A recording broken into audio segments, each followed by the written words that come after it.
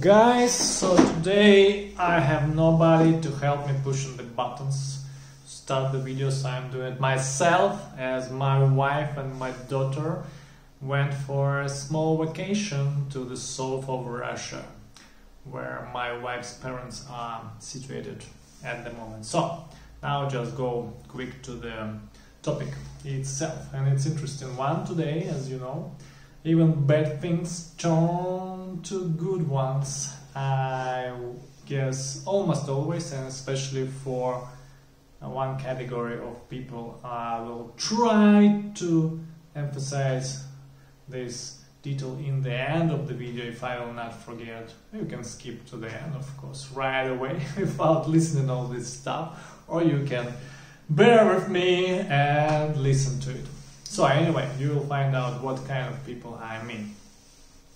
And now, let's go to the three of the bad and ugly things happened to me, which turn completely to the good ones, even the best ones, I would say. So the first one was like around 15, 17 years ago, when those crooks who tried to get the money from people via email and internet were just only uh, kind of spinning of like starting their crazy business and not a lot of people knew about them so i was one of them who didn't know.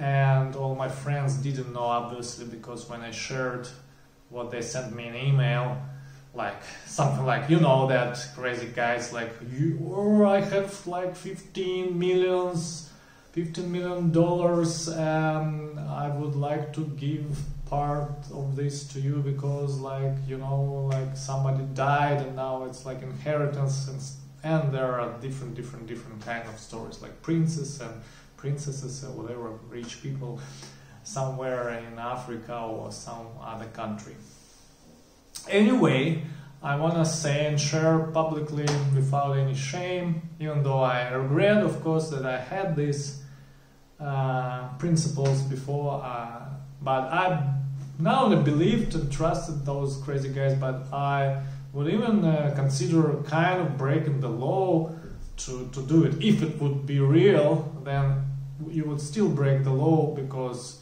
you kind of agree to sign some paper and say that you are not who you are. Anyway, that's one bad thing right away already, out of the box. And I'm so glad that I do not uh, consider doing, even consider doing anything like this now.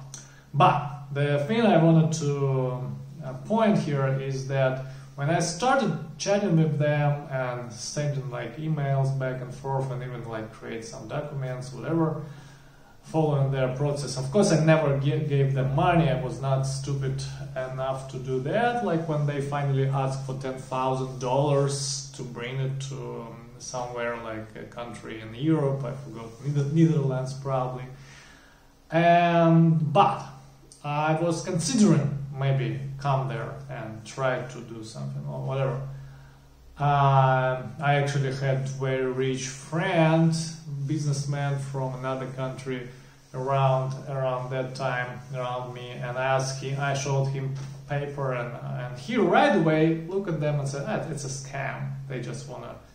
use you for this ten thousand dollars no more. That's interesting because he didn't know uh, about these popular things in, in, in internet and uh, starting uh, up uh, but he, because he was very experienced and all businessmen just could see this right away just reading the paper itself. But anyway, so uh, up around that time I decided not to do it. But in the same time, my friend from another country in Europe were, was helping me to get the visa, to Schengenian visa to go to Europe anyway, when I was still considering to go there.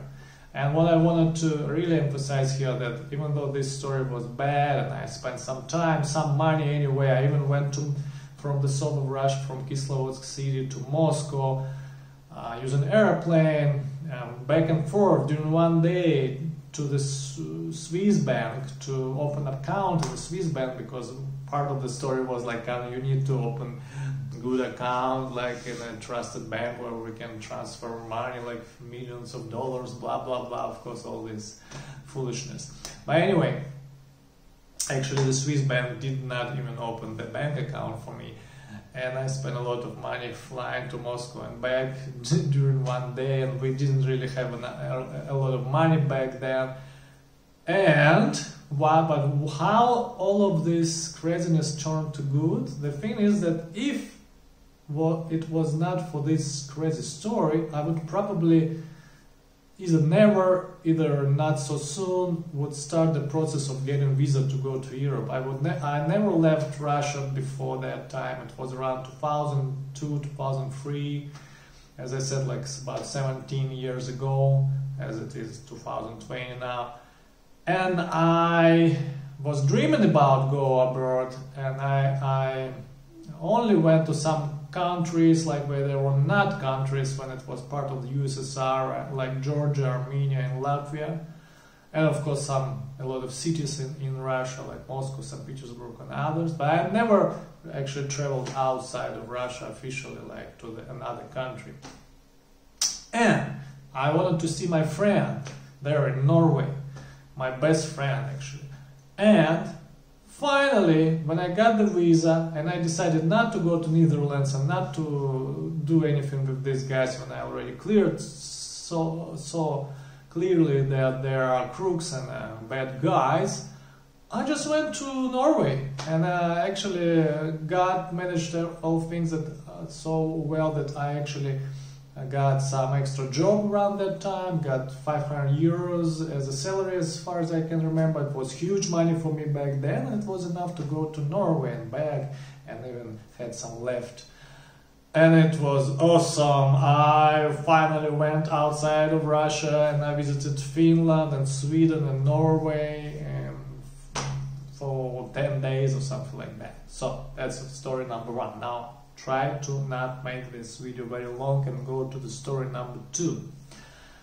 Uh, it was a time around 20, oh, uh, sorry, sorry, 12 or 13 years ago, like 2007, 2008, when I and my partners, my friends, we were making a lot of money. Not, not a lot of a lot of money, but it was quite a lot of money for us back then, and it was pretty much passive income where we built some websites and we were building more. We even hired people who were putting content to the, those websites. Uh, websites. Some of the content was, was unique, some was not, some was interesting, some was not. So we didn't really care much about content and about websites themselves, though, um, because we cared about uh, selling the advertisement links from those sites because we just used the system which paid us for, when we placed the links on our websites. And because I was a web developer, I did it easily and uh, we used some systems, um, CMS systems. So, uh, um, like uh, having said all of that, I want to, to um, make a point that it was very easy to make a lot of websites put the links and make money. So we almost did nothing. It was a very silly job, silly project, like making money out of uh, ether, like space, whatever. And we were getting more money and we were making more sites. I did not study anything new. I did not really work hard. I just enjoyed life. But then one day, the search engine, the most popular search engine in Russia, which they really consider as a main one, uh, put almost all our websites to the blacklist, which actually stop us from being able making money of the selling links by selling links because if your site is in the blacklist, depreciated in the search, etc., etc., it's losing uh, everything like uh, rating, whatever. Uh, points, whatever, uh, in that kind of system, and then nobody's gonna pay you money for those links on this bad websites. So we lost almost all our income gradually, like pretty quickly. And it pushed me to go back to programming actually, because I had a long break from programming, like 13 years, and I basically used HTML, CSS to make websites, if you know what I'm talking about, but it's not really programming. And then we use these CMS systems, which just were popping out sites like crazy, and it was not a hard thing to do. You no need really to use a brain to do that. Um, and then I learned C Sharp, then PHP, and other programming languages, later JavaScript, and it, all the situation, bad situation, pushed me to do it, to, to, to go to next level, to start making websites for money again, like just to sell them the, my services. And you know what? For this last 10 years, even the first 5, 6 years after that happened, I made much more money. Not the passive income, but still uh, actively selling my services. And now, uh, for the last 5 years, even working for the big companies and making more and more money because I learned that stuff 12 years ago. Maybe if I they would not stop us, I would never learn this stuff. Maybe we would make some money, and even more uh, than I did now. I don't know, maybe less. But I, I, think it would be less anyway. But even if it would be more, I would never, never now exchange my knowledge, my experience in the programming languages web development and generally in software architecture, etc., etc. All, all the knowledge and experience I got for the last 10 years, I would never exchange it for just passive income from silly links selling stuff. So that's another bad thing. We didn't like it. At the time, it was like bankruptcy, uh, but it's all turned to good, to really good. And the last thing, but not least, I wanted to share uh, was even longer time ago and it's actually spread on a long like uh, what I want to say the first one uh, the bad one with crooks it was like during the five months whole thing was during the five months when I could see the bad things turn to the good one. The second one about programming languages and uh, sites and links it was maybe around five or six years when I could really see the benefits uh, like uh, starting this um, learning those languages when the, that bad things turned to the good thing and I really saw that I got I actually got degree about that time and I got jobs and money much more money and more experience. So it was about five years. And the uh, gap between the bad thing ugly thing and the good outcome out of that bad thing but the last thing I wanted to share, it's really took around 20 years or more than 15 years to see something good. But I saw some good signs and maybe five, 10 years later, but really, really good, really good benefits only about 20 years later. So what it, what was it? It was the problem with my health actually because of my eating style i ate junk food a lot like crazy time sugar everything like that. When i was uh, a child i was a child teenager and was about 20 years old still child of course even i got even though i got married when i was 20 years old i was really really big child i ate, ate this junk food a lot big time and so very pretty quickly I start feeling such a ache around my stomach and even wake it was normal for me to wake up during the night a few times and uh, it was a few times a year when it's all you know like it was could go to remission and then came back and I didn't really um, change anything. Maybe only for one or two weeks I would change for something more gentle food or blah blah blah but then I went back to junk food, etc. So, uh, finally I start thinking about maybe I need to change the food style, like eating style, blah blah blah. I didn't have enough knowledge, I didn't have experience, so it took me many years, maybe 10 years, 5 years before I start really changing something in the diet. Then it took me more years to start eliminating some things like sugar, and some bread and bad things but then i was coming back to things again like if i would stop sugar itself but i would uh, not be able to stop uh, cakes and cookies for a long time. I was coming back so it was like five years ago. I tried really hard to do it all and, and then it could be uh, only for two or three months and then i was coming back to my old habits unfortunately. And i still had these problems with stomach while after while but about three years ago, I finally switched to the keto diet, which I never regret, and I still um, on this diet. It's not even diet; it's like lifestyle, eating style, and it's great. So more than two years already doing this and enjoying it and so now it helped me to not only stop sugar but anything which had sugar in it and bread and all this stuff all these carbohydrates uh, like refined sugar uh, refined carbohydrates and all this stuff. And uh, now I enjoy life. I feel myself better.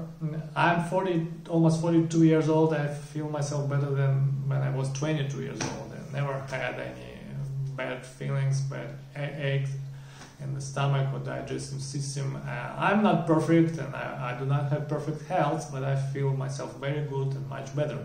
And if it would not be for that uh, time when I ate a lot of junk food, maybe I would never turn to this good eating style. So that bad thing which happened to me in my craziness, and I ate all this stupid food um, now turned me to much in much earlier age to the good style if i would only experience the problem when i was 50 or 60 or 70 years old it could be much um, it could be already late when i got diabetes or something else but now I feel good. I don't have diabetes. Maybe I had some uh, insulin resistances, still have it, but it's improving. I hope and I'm very glad that that bad thing turned to good. I remember my grandmother, she's so cool, she always told me, used to tell me when I was going to the college and say goodbye from the train, train, goodbye, granny, goodbye, mother and father, and she was screaming to, uh, to me on the, that leaving train, hey, Ark, or curry, like